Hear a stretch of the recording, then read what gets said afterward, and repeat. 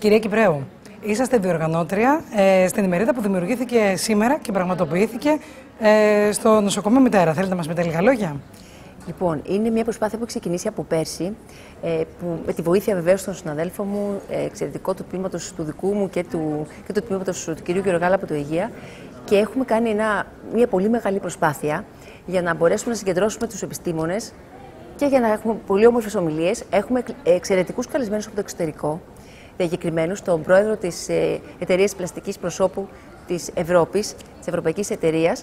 Ε, οπότε θα ήθελαμε να κάνουμε πραγματικά όμορφες παρουσιάσεις, να είναι ιατρικά σωστές και πολύ μοντέρνες, να μην δείξουμε δηλαδή παλαιά θέματα που έχουν συζητηθεί κατά κόρον στην Ελλάδα, να μην είναι τα ίδια και τα ίδια, να είναι κάτι πολύ μοντέρνο, πολύ καινούριο, πολύ εξελιγμένες τεχνικές. Και όλοι οι συναδελφοί μου μαζί συνέβαλαν στην επιτυχία αυτής της όμορφης ημερίδας.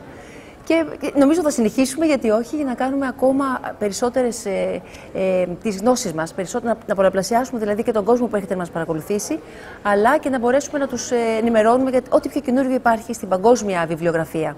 Και το σημαντικότερο ότι είδαμε και πάρα πολλά περιστατικά και θα δούμε και όλα, τα οποία τα συζητήσατε πάρα πολύ.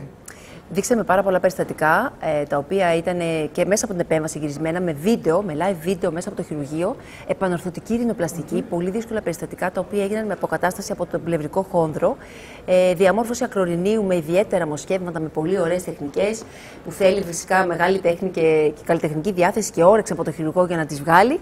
Ε, πολύ εντυπωσιακά και νέα προγράμματα που μας έδειξαν για τις οστοτομίες, για τα προγράμματα, που, τα, τα, συγγνώμη, τα εργαλεία που μπορούμε να χρησιμοποιήσουμε για να έχουμε καλύτερα αποτελέσματα και έτσι νομίζω ότι όλοι μαζί θα προχωρήσουμε στο να έχουμε ε, από αύριο όλοι αυτοί όπως παρακολούθησαν καλύτερη σκέψη και καλύτερη κριτική για να κάνουν τις ριζοπλαστικές και να συμβουλευτούν όποτε θέλουν τους ειδικούς και αν υπάρχει ένα δύσκολο περιστατικό, ένα δύσκολο μια δύσκολη περίπτωση όπου μπορέσουμε και εμείς να βοηθήσουμε. Για να έχουμε ένα πολύ όμορφο αποτέλεσμα. Βεβαίως. Πολύ ωραία.